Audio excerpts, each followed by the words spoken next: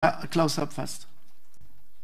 Euh, merci très rapidement. Il y, a, quelques compléments qui me paraissent utiles. D'abord, sur les autres planétariums, euh, il y en a, Jean-Damien, Mermio Blandin les a nommés. Il y en a en effet comme à Vaux-en-Velin en, portage communal, mais il n'est pas en difficulté. Il a seulement, dans une commune de 90 000 habitants, c'est un effort très lourd pour la commune de financer un équipement qui a 100 000 visiteurs, 90 000 visiteurs par an. Donc, euh, euh, mais heureusement qu'ils le font. Euh, Vulcania, justement, et ça, je reviendrai là-dessus, c'est une SEM avec la majorité de la région qui le porte. Et c'est d'ailleurs aussi euh, la région euh, qui est propriétaire. Donc là, la région, elle construit quelque part un planétarium pour, euh, pour enrichir l'expérience visiteur d'un site d'une grande attractivité pour, pour toute l'Auvergne qui, qui, fait partie de notre région. C'est très important, et là je viens à ce qui a dit sur Internet. Vulcania Valibi, ça ne vit pas sur Internet. Euh, et aujourd'hui, les sites doivent en effet créer cette expérience visiteur. On a parlé hier à la CA d'Alpexpo, comment la foire, elle peut renforcer cela. Et ça peut même fonctionner, on le voit, j'étais cette semaine à l'exposition, excellente exposition, que je peux que recommander, les dieux de l'Égypte, au musée des Grenoble. Tout ça, je peux le voir sur Internet ou dans des livres. Mais il y a un monde de dingue qui va voir les vrais, les réels objets qui ont été déterrés euh, du sol du désert égyptien.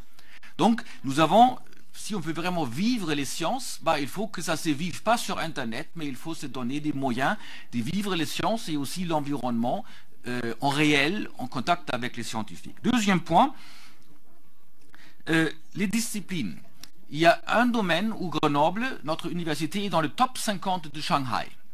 Et ce n'est pas les nanosciences, ce n'est pas la médecine, euh, ce n'est pas les semi-conducteurs, c'est les sciences de la Terre et de l'environnement. Donc nous avons tout raison à dire que nous mettons notre meilleure science à Grenoble en tête de gondole des thématiques de cet équipement centre des sciences. C'est vraiment aussi un aspect fort. Maintenant, peut-être deux, mots sur, euh, sur la partie euh, convention, statut, budget. Non, aujourd'hui, la région, elle a dit, nous soutenons la casemate. Et elle a très clairement dit, quoi qu'il arrive, elle ne va pas réduire son soutien euh, financier au périmètre des activités de la CASMAT. Et c'est ce qui a été dit pour le département de la part de son vice-président, M. Perrin.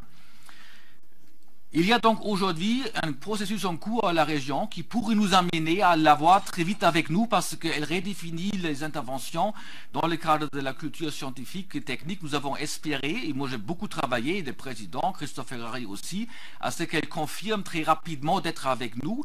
Aujourd'hui, elle, euh, elle ne souhaite pas encore le faire, peut-être elle ne le fera pas, peut-être elle le fera, mais le risque, le, ce qu'on appelle des restes euh, à financer, il n'est pas très important au point de vue de celui qui porte ce projet depuis 4 ans. Le risque qui n'est pas financé aujourd'hui, c'est environ 400 000 euros. Et c'est suite à des études extrêmement, par an en fonctionnement, c'est suite à des études extrêmement fines qui ont été faites avec CapScience dans un copil qui a été multipartenarial avec tous les monde autour de la table et qui a travaillé pendant deux ans.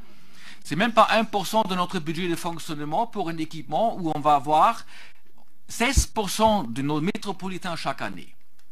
Donc euh, là, je dis, euh, si on a des partenaires qui d'ici 2021, on va travailler là-dessus, on va travailler là-dessus, qui viennent, trop mieux, mais euh, il faut le faire, à mon avis, après ce travail, le projet et les murs, et il y aura peut-être aussi, je l'espère, une dynamique qui fera venir d'autres partenaires d'ajouter au budget.